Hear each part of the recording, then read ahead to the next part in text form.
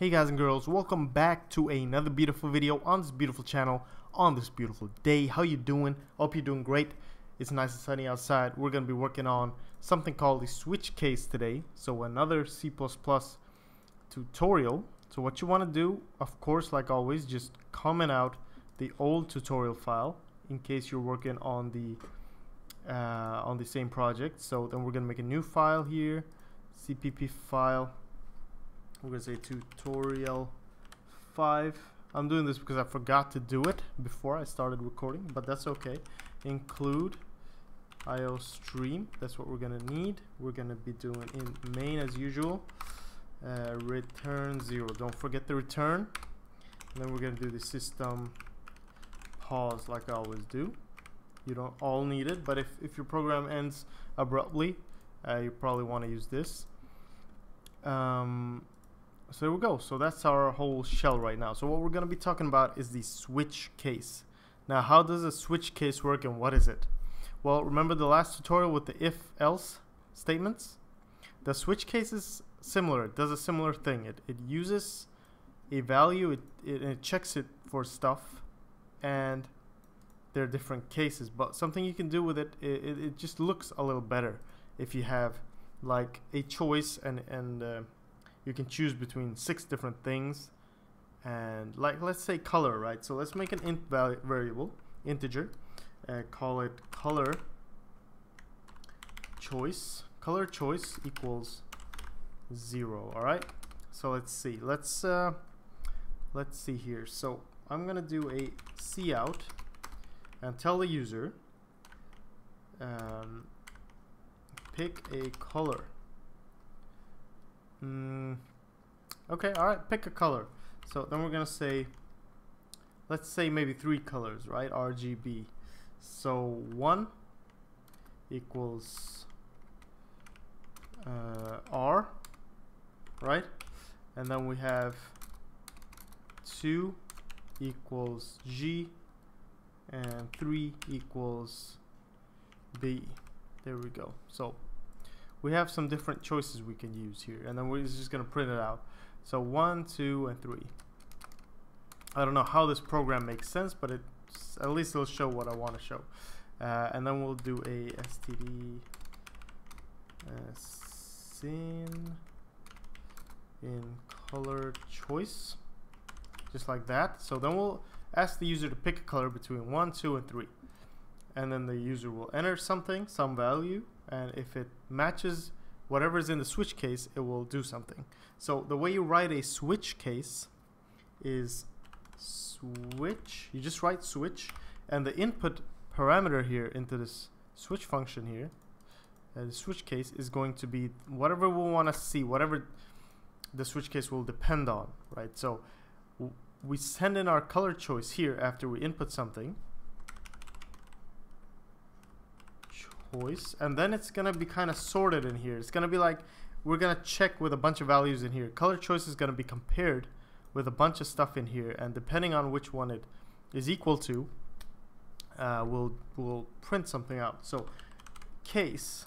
Every case is a case basically. So in the first case maybe we want to check it with 1 so if the number here is 1 we're gonna do something and if the number is I'm just gonna copy paste this. Three we have three different right? So if it's two or three just like that. So one two or three. And these are three different cases. Now don't forget the break here. It might be a little confusing but you need a break here because otherwise if we come into case one it will never stop. Like it will just keep going down down. Check all the other cases. But we don't want that to happen. If color choice is equal to one we want this to happen. Whatever is in between the case and the break and then we want it to end at the break. Everything else is done. Now there is one more case here, just like our else in our if-else statement. Uh, the else is something that happens if and nothing else matches the uh, like if nothing else is true then the default will run the, this else case or whatever but we'll call it uh, we'll not call it it is called default and it is basically just a thing that says okay none, nothing matched let's just print something out or do something here so I'm just gonna print out cout not a valid choice. So something went wrong. It's not what we were expecting. It's not one, two, or three. It's something else. Not a valid choice. Break. Easy, right? Uh, but in case of one, we just want to do a cout of red. Color red picked, I guess. Something like that. Now, this isn't really a fun program to make, maybe, but yeah, it actually just shows you off, shows off the functionality of the switch case. So we have three different cases here. Red, uh, green, blue. So there we have three different choices and a default. Now something we're to talk about some errors and stuff that can happen in a switch case later. So please just stay tuned to this video because at least if you want to learn about switch cases because uh, there's some things that can go wrong and some things that you might come across that have some weird error numbers and you don't know what the hell's going on. So I'll just tell you those. But whatever, here we go. Pick a color. So let's say pick one. Color red pick. So what happened was we went in here, we inputted a color into this variable. It was sent into the switch case and it was operated upon or whatever. So it was checked for all these different cases and eventually one of these cases was found to be true, actually the first one. So case one was found to be true because color choice was one. Then this happened and then the break was triggered and then everything else was ignored and we came down here. Now if two was true, this would be ignored. Well, we'll check it for one, but it isn't one, so we'll go to two, do whatever's in two, and then ignore the rest. So if I if I just do this again, but I input, so I, I get I guess you get it. If I press two, green is gonna be picked. If I press three, blue is gonna be picked. Whatever. So we're gonna just do whatever's in here. But what if I say five or four or something? Not a valid choice, right? Because color choice was none of these three above here. It was just something random, so default was triggered. So remember, you can have a bunch of different cases. You can do a bunch of stuff.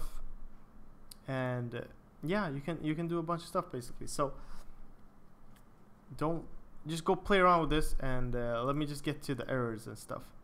Um, so one error that can happen is in your case sometimes you might want to do a bunch of stuff here right? Not just print something out. Might you want to do might create a temporary variable in here.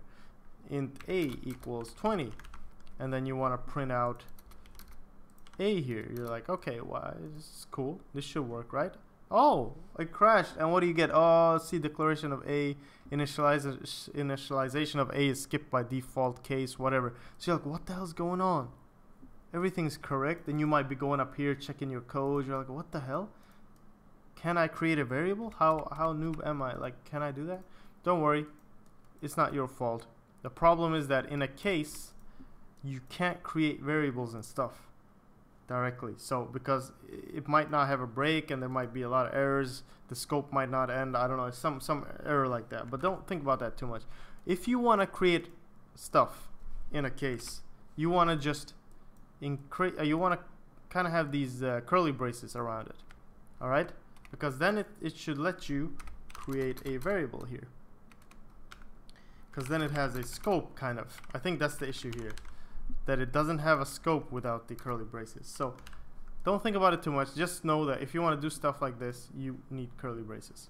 Because then if I say uh, 1, we're going to have our A variable here, 20 printed out. So this is a very common error that you might get. And it's really annoying to kind of debug that and Google it. So just remember that this is a this is something that you can do. So curly braces if you want to create variables and do stuff like that. But otherwise, you can create the variable outside here and you can operate on it in here in the case. So it's going to be accessible in here. Don't worry about that. Just remember that. Uh, and then you can, uh, yeah, you can just play around with this. Try try to use different stuff here and, and do different things in here and all that stuff. Uh, and it should work. But it's a really short video, I think. Uh, I wish I given you another example, but I think you I think you understand. It's just like the if else, it's just in a different format. I think you can do a little more stuff with the if else, but this is like for menus and stuff. Might be really good to have. Uh, in my game development series, the second one, I use the switch case as a menu, and probably in the first one as well. Uh, so uh, so yeah, keep learning, keep working hard. Uh, if you think something's really really hard, please watch it again. Watch someone else's video. You will learn. All you have to do is just keep trying to to understand it, and it will it will sink in sooner or later. Uh, but yeah, thanks for watching. Take care, and I see you guys and girls in the next one. All right, bye bye.